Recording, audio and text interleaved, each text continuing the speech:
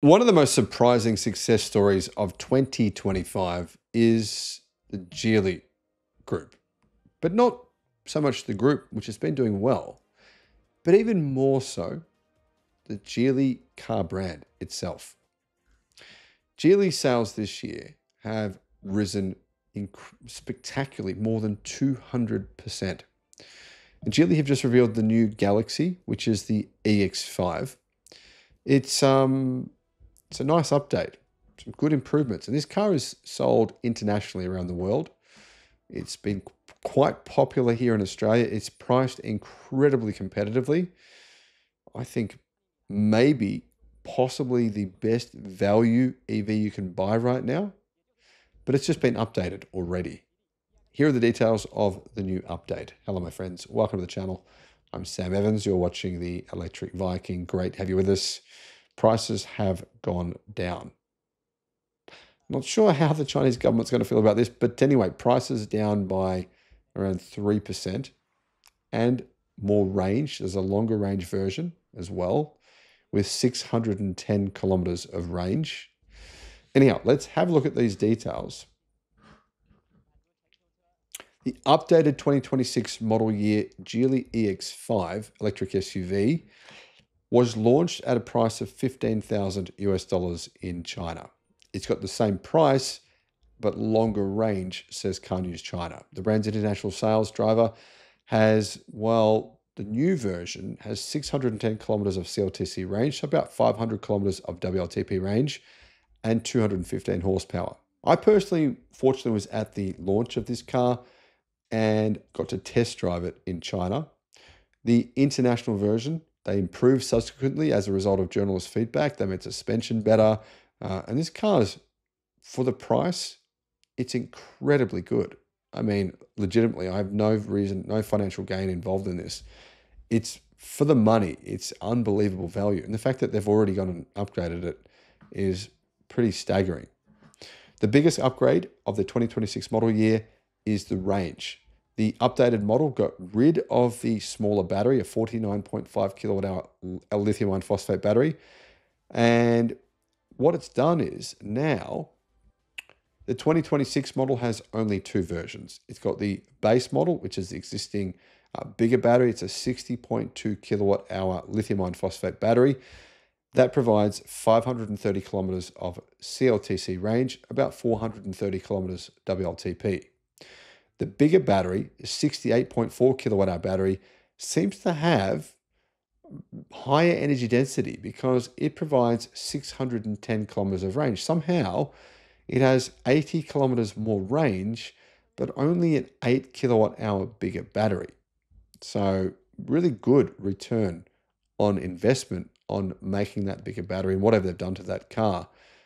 Very good range for the size of battery. So, WLTP is likely to be around 510 kilometers. That's pretty impressive. Now, the batteries they're using as well are also extremely impressive. They are this short blade battery, the Aegis short blade battery, and they are lithium iron phosphate, extremely safe batteries.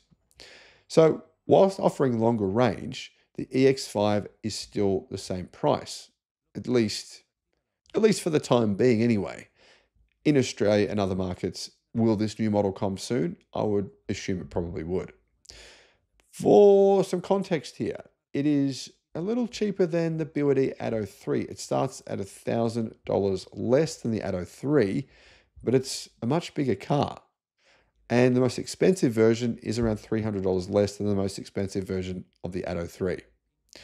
The car did have a top trim level that was 25,000 US dollars. That's gone now. Geely auto officials have highlighted that the suspension system of the 2026 EX5 was upgraded. And to be honest, that was a discussion.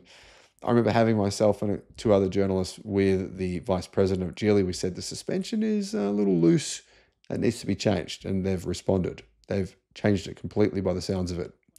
Its damping performance was enhanced by 20%, and it now has two additional colors dawn blue and evening forest green. To give you some context here on the size, the dimensions of the car, it's, um, it's actually slightly bigger than the Nissan Ariya, and it's much, much cheaper. I mean, way cheaper.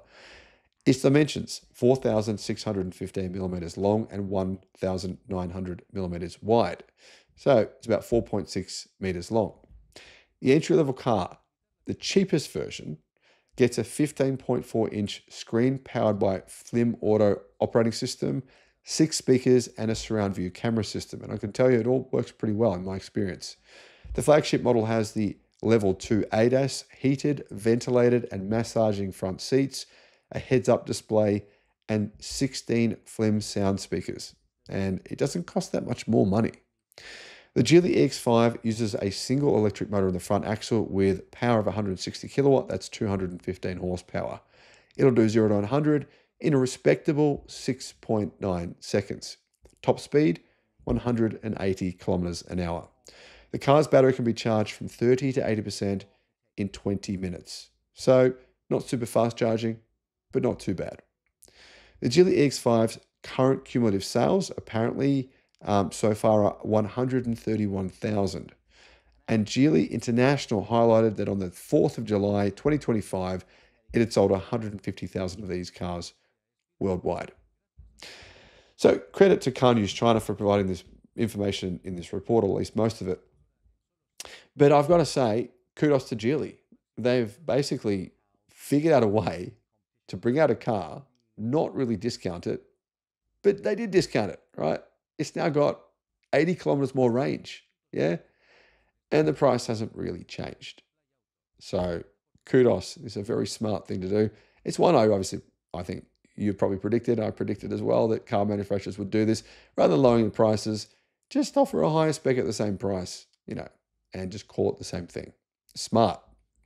Either way, no matter what the case may be, this is a great car and it just got even better. Let me know what your thoughts are in the comments. Bye bye. Geely, you need to pay me for saying this. I'm joking. Geely have just updated the EX5, which is one of my top five recommendations for buying. Buy is basically one of the five best value electric cars you can buy now. This new update, it's been seen in China, but I know where the factory is in China. I've seen it, and it builds the same cars for other countries as it does as for China. Therefore, very likely that these upgrades will come to Australia, Europe, other markets where you can buy the Geely EX5, and it's a pretty good upgrade. It, well, I should say, I shouldn't say upgrade, it's a new model, a new version of the EX5, and it's the version I would be waiting for personally. Hello, my friends. Welcome to the channel. Great to have you with us. I'm Sam Evans, and yesterday I saw one of these cars driving in my local town for the first time ever.